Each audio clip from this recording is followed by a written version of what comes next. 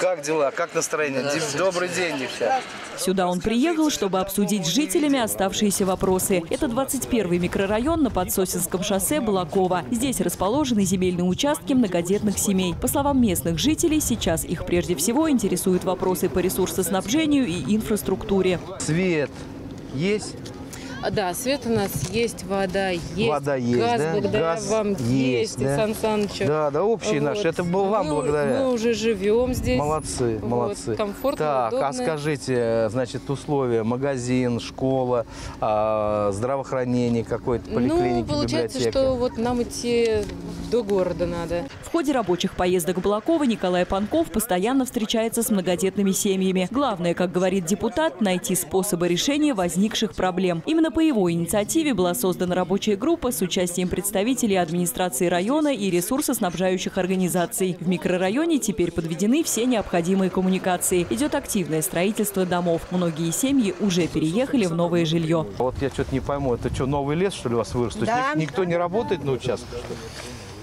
То есть то, что мы с вами раньше вывозили, это зря, что ли? А это микрорайон 4Б Балакова. Здесь у многодетных семей схожая проблема. Землю для строительства домов дали, но она была захламлена строительным мусором. К тому же не было никаких коммуникаций. Балаковцы обратились к Николаю Панкову. Народный избранник вместе с людьми ищет решение проблемы. Вы расчистите ей, столбы поставьте, как и всем, сделайте хотя бы, да.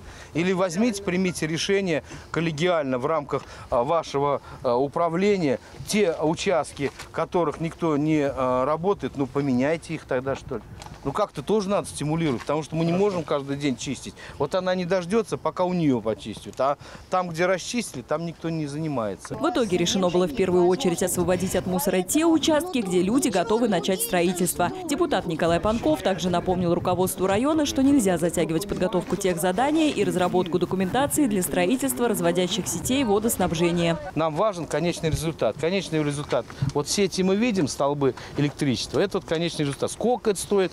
Это же не из кармана э, ваше, правильно? Нет. Поэтому нам это, ну, точнее, им это бе- не интересно. А нам интересно в виде даже, может быть, проверки правоохранительных органов. Побывал народный избранник и в селе Натальино. Здесь реализуется проект по комплексной застройке территории, в рамках которого удастся обеспечить инженерной и дорожной инфраструктурой более тысячи жителей, в том числе многодетные семьи, получившие здесь земельные участки. Сейчас здесь все есть.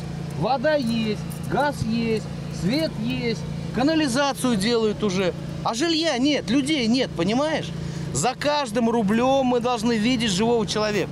Николай Панков отметил, что застройка Натальина включена в госпрограмму по комплексному развитию сельских территорий. Однако за три месяца выполнено всего 30% от общего объема, а работы в рамках первого этапа необходимо завершить до сентября. Депутат посоветовал местным властям взять решение вопроса на особый контроль, иначе неосвоенные вовремя средства вернутся обратно в федеральный бюджет.